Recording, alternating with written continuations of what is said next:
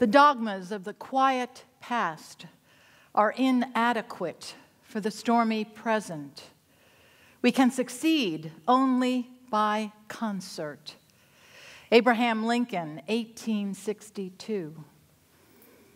Lincoln's voice is still celebrated in the spoken word, the written word, even in music. Composer Aaron Copland introduced this quotation in the narrative for his composition titled A Lincoln Portrait. I speak to you today from the perspective of my 70th year as an avid reader and book lover, a student of cultural history a lecturer in pastoral studies, and a fledgling writer. I look back on the many voices from my past, voices that spoke to me, defined me, challenged me, inspired me to seek and find my own voice. Yet, many of us hear voices that are conflicting, contradictory. Children should be seen and not heard. Yet, don't raise your voice to me, but speak up. Use your words. Amid a cacophony of competing voices, a palpable divide exists, worsened by extreme polarization and perhaps the most divisive political climate in my lifetime, where Lincoln's words are more relative than ever relative to our stormy present, calling into question those dogmas of a not so quiet past. How can we lend our voice for the common good, for Dr. Martin Luther King Jr.'s beloved community? Is it really a question of whether we want to, or rather, or should we? Should we? Must we continue only preaching to the choir, or can we reach beyond the choir?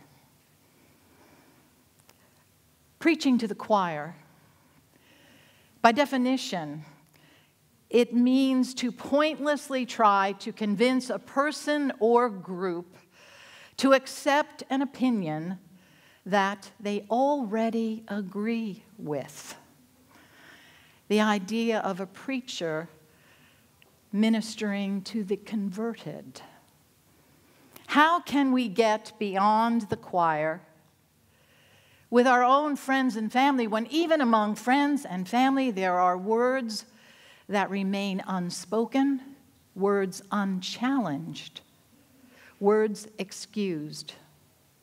It's more than just the crazy relative we may have to put up with once a year at Thanksgiving. And I can see you all out there thinking of who that is in your own families. Sadly, sadly, the reality is we are not talking with each other, we're talking at each other if we're talking at all. So, how do we get beyond the choir? Think with me for a moment about a choir. I'm sure many of you are or have been members of one at some point in your lives. I am honored to be a member of the Ocala Symphony Orchestra Chorus, known for our annual performance of Handel's Messiah. A choir's performance, though, is more than simply singing the right notes, more than synchronizing the voices of soprano, alto, tenor, and bass. A choir ultimately creates harmony. So, indeed, to reach beyond the choir is to seek harmony. How? I would suggest by practicing Selah. Selah the original Hebrew word appears over 70 times in 39 of the Psalms, Psalms that were intended to be sung, often accompanied by musical instruments. So, what does Selah mean? Theologians and biblical scholars still ponder definitions that remain fluid, perhaps some kind of musical instruction But my favorite interpretation comes from Episcopal priest Father Michael Marsh in his sermon blog, Interrupting the Silence. Father Marsh describes Selah as an instruction to slow down, pause, reflect, stop, and listen. Allow silence so as to create a space, an opening, a connection between what went before and what is coming next. So, indeed, to give voice beyond the choir through Selah is to take what I would suggest three steps. Number one, to connect. Number two, to pause and be silent. Number three, to listen. 2020 has been an extraordinary year, a year not only of a viral pandemic, but what many are calling a pandemic of the spirit. A year where the voices of John Lewis and Ruth Bader Ginsburg were silenced. The interlude earlier this year of the global pandemic shutdown, a time we introverts embraced, but for far, far too many a time of incredible hardship and heartache that for many has yet to abate. We all have an innate desire to be heard. Yet, too often, it is the extremes on either side with the loudest voices and trying to get a word in edgewise nearly impossible. How do we begin to connect, to truly hear each other, or more accurately, the other? As Maya Angelou so eloquently said, words mean more than what is set down on paper. It takes the human voice to infuse them with deeper meaning. Ah, the human voice. I read aloud to my son Joseph before he was even born. Wonderful letters from my dear mother, who we lost to cancer over 20 years ago. Yet, with the advent of the internet and cell phones and texting and messaging and email and social media and Facebook and Twitter and Snapchat and Instagram and something my grandchildren call TikTok, And of course, the saving grace of the ubiquitous Zoom. Mom's handwritten letters seem quaint. And my dear late father, who passed away at the age of 90 years young for his entire life, only used a landline telephone. What all this access has done, though, is create a degree of separation and distance, even anonymity, that has led to disconnect, to incivility, to even outright cruelty, saying things uh, uh, via social media that we would not dream or dare to say in person or face to face. None of which leads to the conversation so desperately needed all of which leads to an ever deepening cultural chasm. As did the psalmist. Perhaps it's time for us to conclude all our emails and text messages with that one word, Selah, as a cue for our next step in this process to pause and be silent. Author Colum McCann whose latest novel is Apeirogon, suggests even silence is a form of speaking. And yet, as he writes further, you soon find out how loud the silence really is. Everything unsaid leads eventually to what is said. If we but pause and be silent.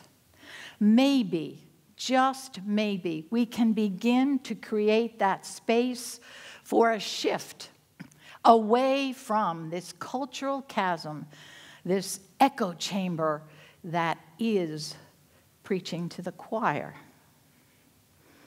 To hear the impassioned voices questioning systemic racism, challenging ingrained beliefs and attitudes around white privilege as but one significant example. That leads to voices of discomfort, denial, fear, anger. These too must be addressed and acknowledged. And that leads us to our third step in practicing Selah to listen. The Sufi poet Rumi tells us there is a voice that doesn't use words. Listen. I held elected office as a county commissioner and represented a very rural district that encompassed the 4,000 plus acre Ocala National Forest. The largest geographically, the smallest in population, obviously more trees than people. As I began attending meetings, community meetings in the district, the chairman of one of the advisory councils admonished While we appreciate your being here, you are from the heart of the city of Ocala. You have no idea what our needs are out here. And he was right. The closest I had come to anything about the Ocala National Forest prior to my election was in reading Marjorie Kinnan Rawlings' The Yearling. Talk about not preaching to the choir. But I kept showing up every month, attending one of six different community meetings, listening to their concerns, often bringing the staff experts with me, trying to implement and effect needed change. At the end of my four year term, the advisory council where I began hosted a dinner in my honor and named me their person of the year. A recognition I cherish deeply, but what I cherish most were that same chairman's parting words. You proved me wrong, he said. You are the only commissioner to have ever given us a voice. To connect, to pause and be silent, to listen, not by chance. The words listen and silent are an anagram, same letters, different words. But perhaps connected in meaning by concert nonetheless. For Lincoln told us we can succeed only by concert, and by concert, by definition, means by agreement, by harmony. So, in embracing Selah, we can move toward that harmony that is beyond the choir